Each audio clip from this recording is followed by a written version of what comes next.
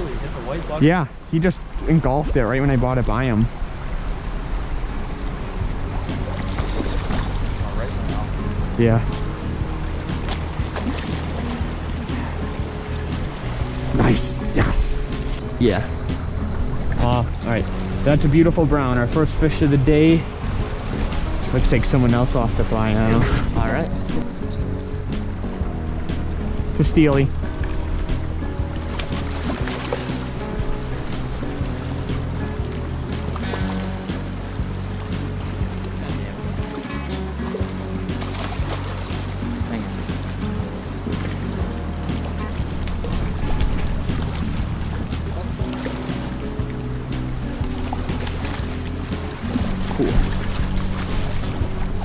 Nice. Oh, There he is. That's like a domestic one. doesn't Yeah, nice little domestic rainbow trout. Oh my gosh.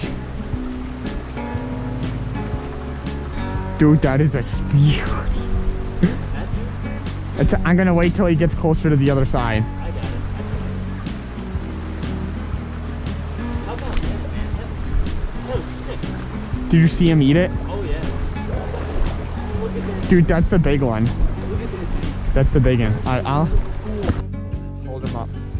All right, my uh, brother's friend is letting us fish his uh, private property, which is nice. You haven't seen a guy all day on the creek, and we're catching some beautiful brown trout. That is just a beautiful brownie. Uh, getting a couple of them on the center pin with beads and swinging some streamers and catching some fish, but oh my god, nice fish, brother. all right, I just got that nice, beautiful little brown trout and a little woolly bugger. Oh, yeah. Green. Yeah, it's a beauty. I'll lift it out of the water. That's awesome. Yeah.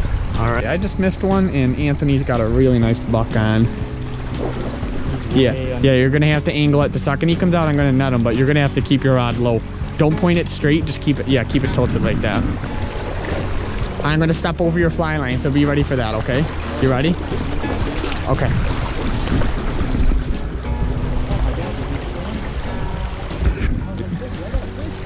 Th- Dude, that was ridiculous. There's a couple kings in there with them. Let me get a look at that in there. Holy smokes. Dude, that's a beautiful brown trout. Holy. That's a beauty. You want to get a picture for me? Oh, yeah. Look at beauty. That is a beauty, man. Dude, we got to thank my cousin's friend for letting us fish on his property, man. Here you go. Bugger in his mouth. he grubbed it. Oh, he grow. He inhaled that oh, shit. And then